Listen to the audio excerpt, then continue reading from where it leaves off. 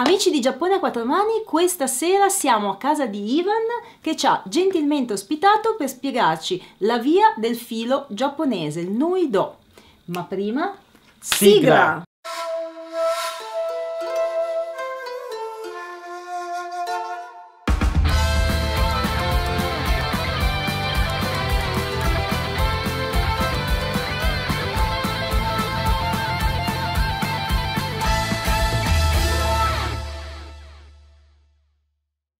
Ecco, ma prima di parlarci della parte tecnica, quindi di spiegarci un po' che cos'è il Nuido, spiegaci come mai ti sei avvicinato a questa, questo stile, questa, questa via, questa forma. Io allora, hai usato la parola giusta. Mm, Proprio la via è il percorso che si compie attraverso il Nuido per raggiungere la perfezione, la purezza, la bellezza, tutte queste cose che sono alla base una cosa molto religiosa. Mm. Al principio del buddismo stesso, questa arte viene praticata come una forma di religione per raggiungere il più possibile la perfezione della natura trasformata in ricamo. mm. È un eh, punto dopo punto, si impara sempre, si prosegue, se è un viaggio, cominciare un ricamo Nuido significa compiere un viaggio attraverso questo tipo di arte cercando di raggiungere la perfezione.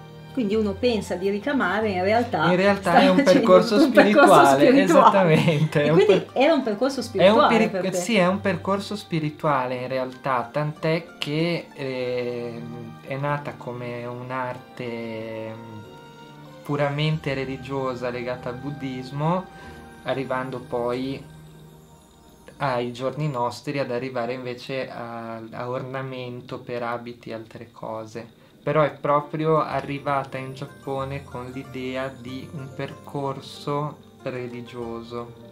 Caspita, e tu ci, ti ci sei avvicinato? Io mi ci sono avvicinato perché sono un grande appassionato di ricamo, di maglia, uncinetto, Sì, tutte sappiamo, cose, sapete. fai anche degli amigurumi spettacolari. E sono rimasto affascinato da tutta questa filosofia che c'è dietro, perché alla fine su una parte molto tecnica, eh, soprattutto se chi ci segue magari se ne capisce un pochino di ricamo, si tratta fondamentalmente di punti come il punto pittura o cose del Sì. genere che sono anche nella tradizione occidentale utilizzati per ricreare gli effetti naturali, ad esempio di fiori, foglie, queste cose così.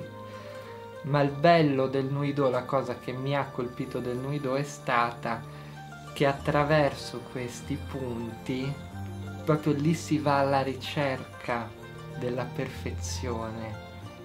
Deve rimanere un, un- un ricamo finito, deve avvicinarsi quasi al- all'essenza vera della cosa che tu hai ricamato, nella singola sfumatura proprio. E infatti noto che ci sono proprio le sfumature di colore come se Sfuma- fossero pennellate, come dicevi. Ad- punto o effetti, ad esempio, quando viene ricamato un effetto su acqua o un effetto su un piumaggio, su una cosa del genere, si va a ricreare proprio con dei rilievi la forma che avrebbe la piuma o l'onda o queste cose in modo da renderlo il più realistico possibile. Meraviglioso. Ma vediamo l'opera che hai fatto proprio tu con le tue manine. E ti spiegherò qualcosina di, di tecnico. Benissimo. Il Nuido è mm, codificato in 47 punti, che ognuno ha una sua propria funzione, una sua propria eh, filosofia e simbologia, ognuna delle quali è beneaugurante.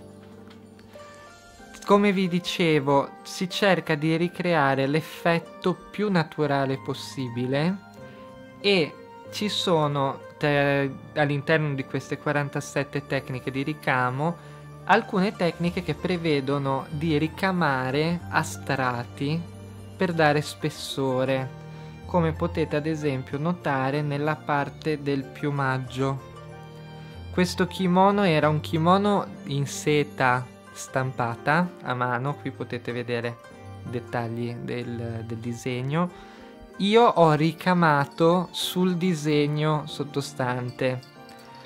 In questa parte, come vi dicevo, si vede la tecnica proprio del ricamo a strati che dà proprio un effetto come di un reale piumaggio. Più simile a qualcosa che noi vediamo anche nella cultura occidentale è ad esempio la parte del muso di questo fagiano dove vengono fatte proprio letteralmente quasi come nel punto pittura classico le sfumature per ricreare i colori. Stessa cosa la troviamo nelle piume.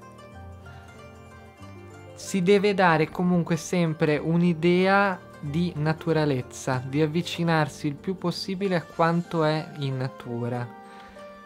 Questo è stato il primo lavoro che ho fatto e sicuramente non sono al livello dei grandi maestri giapponesi.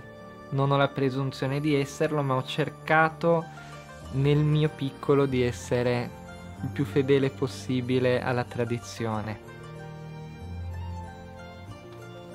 Nelle figure classiche ritroviamo spesso raffigurazioni nella natura, quindi animali in particolare, proprio per gli effetti che dà questo tipo di ricamo, animali come uccelli per il piumaggio, oppure paesaggi. Viene ricreato ad esempio molto il movimento dell'acqua, il movimento del vento, il movimento delle nuvole, tutto ciò che comunque riguarda la natura.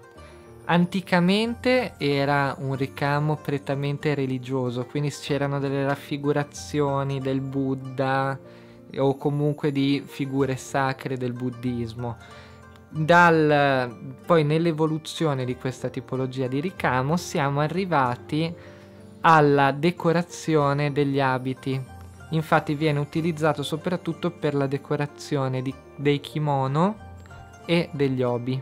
Ecco, ma questo splendido kimono dove l'hai trovato? Allora, l'ho comprato nel 2011 tramite un negozio eBay che era un negozio dell'usato di Kyoto. Mm e si tratta di un kimono di inizi del Novecento che è stato cucito e dipinto a mano. Quando poi l'ho acquistato, mi è arrivato, gli ho fatto tutto un trattamento per pulirlo, ho dato un mezzo delirio per cercare, avevo il terrore di, di distruggerlo.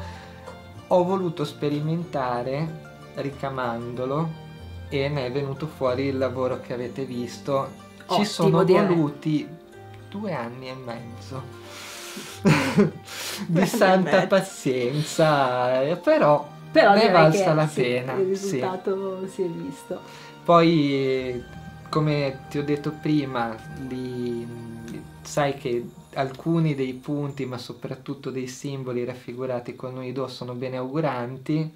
Come ben sai è stato il mio regalo per salutarti prima della tua partenza sì. in Giappone e spero che abbia fatto il suo effetto. È stato molto apprezzato. Poi tutta questa fortuna non ce l'ho avuta, ma speriamo. Prova a mettere esatto. più spesso il kimono. Esatto, non, non l'ho indossato, non, non l'ho indossato. Ma perché sta meglio ad Andrea. Sta meglio ad Andrea. Agevoliamo il filmato dove sta meglio ad Andrea. Ci serviremo della nostra splendida modella, direi. Partiamo quindi. Allora, eh, qui vediamo quindi tuo kimono. Esatto, basandomi su alcuni testi, pochissimi che si riescono a trovare al di fuori del Giappone sul Nuido, ho eh, sperimentato questo tipo di ricamo ricalcando diciamo con l'ago i colori e il disegno che erano sotto. Ecco, splendida proprio diciamo la tecnica di come si rende poi l'ala e la lucentezza esatto lì è molto fanno i filati attenzione attenzione. No no, no, no non riprendere la faccia no.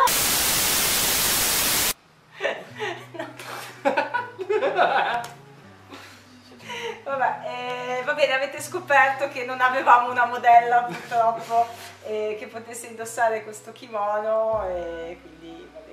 Forse ti manca l'hobby. La prossima volta ti ricamo un Va hobby. benissimo, non sono io a dire di no. E guarda. magari ti preparo anche il ramen. Ecco, potreste vedere ancora questo ragazzo sul nostro canale, perché questa cosa del ramen Ci è interessante, ci potrebbe... dobbiamo, ci dobbiamo ragionare.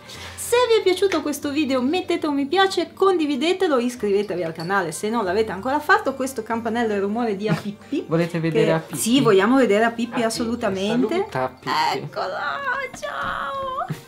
Ecco, questo è un gatto, non come il mio che è demoniaco, questo è un gatto che puoi Un po' meno demoniaco. È un gatto bellissimo che ha un po' paura però perché non mi conosce. Comunque, siamo arrivati a fine video, appunto, dicevamo ci vediamo la prossima volta. Ciao e grazie.